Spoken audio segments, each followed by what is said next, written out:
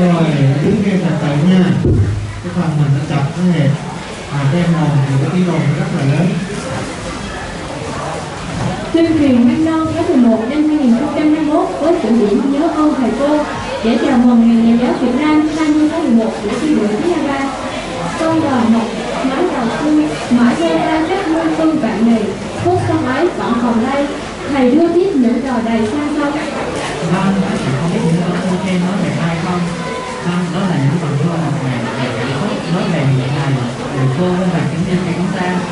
chỉ còn mấy ngày nữa thôi là đến tháng thứ 11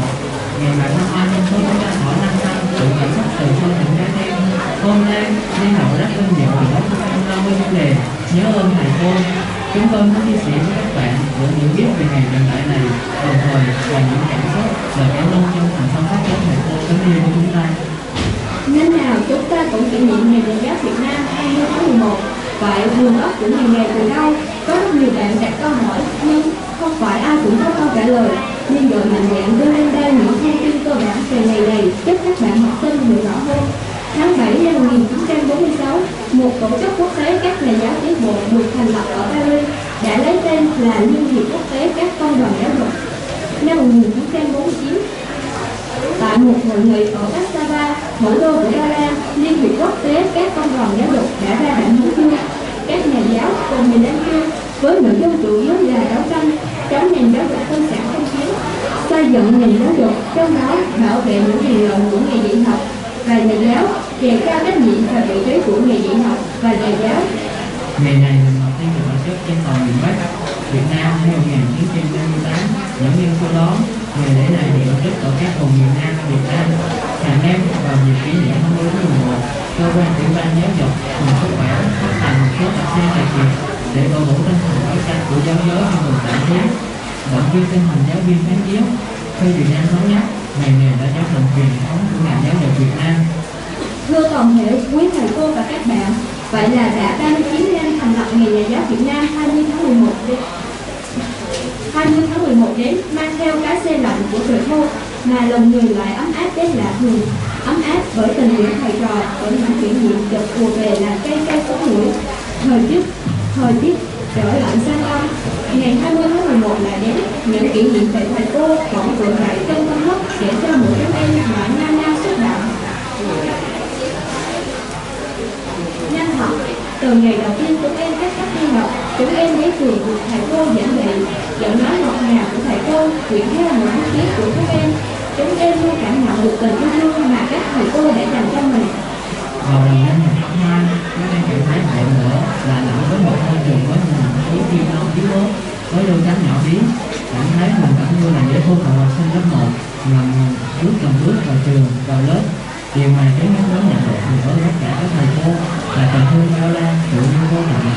Đã bao lần chúng em nhìn thấy ở thầy cô là những nét phiền muộn vui tươi chúng em chuyên tâm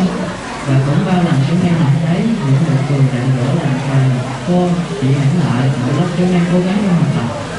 cao cả đây những thủy sơn tâm hồn, những người đưa đò đáng kính của chúng em. Thầy cô đã vì chúng em mà không quản ngại khó khăn. Vậy mà đôi lúc chúng em lại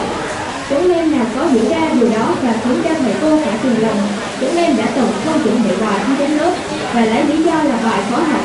Nhưng tại sao chúng em không hiểu rằng để giảng dạy cho chúng em, thầy cô đã tốn ba công sức chuẩn bị giáo án vào những đêm khuya. Ôi, thầy cô ơi, rồi khi chúng em thấy mình đã đủ tự tin thì có thể bước vào đời. Chúng em sẽ bước từng bước để đẹp hóa những thành công từ những pha trận của thầy cô giao cho. Rồi sau này, nếu có được đón nhận những lời khen hội thì chúng em hiểu rằng đằng sau thành tích đó là những giọt mồ hôi gợi lớn tình thương của thầy cô. Chúng em như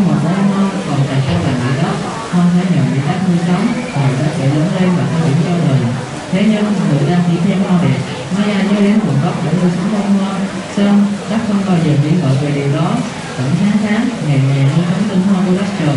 Thầy cô cũng vậy, như dòng nước chảy xuôi, để dụ chúng em mà không hề suy nghĩ. Cho nên chúng em, những bông hoa ấy, và biết cội nguồn cho mình sức sống, và tỏ lòng biết ơn đối với thầy cô.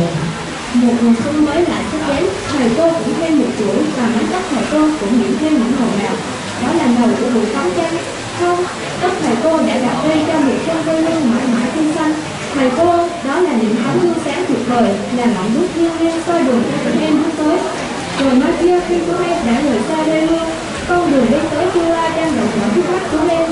Con đường ấy, chính thầy cô là người đã khai mở. Vì thế, cho dù trưởng thành đến mấy, dù ở vị trí nào trong xã hội thì những hình bóng kính yêu của thầy cô sẽ mãi mãi ở trong chúng em, nhưng nhắc nhở động viên chúng em trong suốt cuộc đời này đây đây, chúng em xin được tấm tại của thầy cô cũng bông hoa tươi thế nhất không chỉ là tấm lòng chúng em dành cho thầy cô mà còn là một lời hứa nhân vật đó. Chúng em muốn nói với thầy cô, chúng em sẽ đến trên mong để không sự làm thầy cô giảm em mỏi ở chúng em. Thầy cô là người cha, người mẹ thứ hai của em, là người đã cho chúng em luôn gắn hết vào đời, nhưng lòng chúng em mãi luôn hoàn hiểu nhớ ơn cô đến tận đời. Chúng em xin tặng quý thầy cô những câu thơ từ tận vẫn còn như xưa con đây có thái cho thừa nhưng cô lại ngủ sớm chưa dậy còn như sau ngày tháng mộng mơ giờ con không lớn vỡ lòng con đâu thầy ơi cuộc sống muôn màu ra đời con nguyện khắc sau lời thầy chúng em xin thành cảm ơn quý thầy cô và các bạn đã lắng nghe